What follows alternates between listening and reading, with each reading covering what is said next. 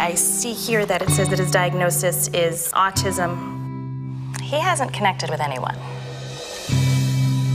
We all might be a little slow in here, but Anthony, that's a real moron. Well, he just needs more time, and then he'll warm up to a few students. Yo, that's to wake you from your sleep. Stupido.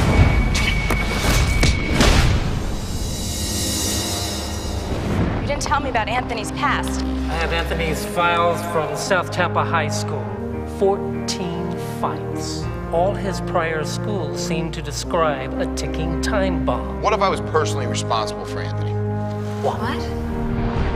I'm a veteran police officer and a seasoned black belt. I know I could help that kid curb his violence. It's believed that there are less than 25 autistic savants in the world who hold prodigious skills. And Anthony is one of them.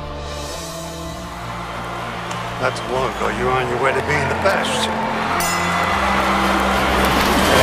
Nick, you became a cop, not a professional fighter.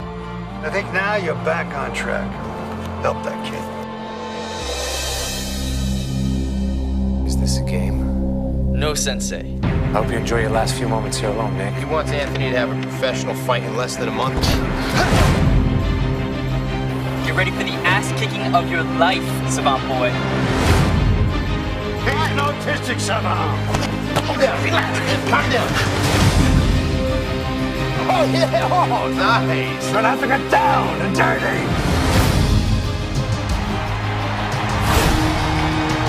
I just love this little guy. Anthony Rodriguez, an autistic savant who fights with magic from within.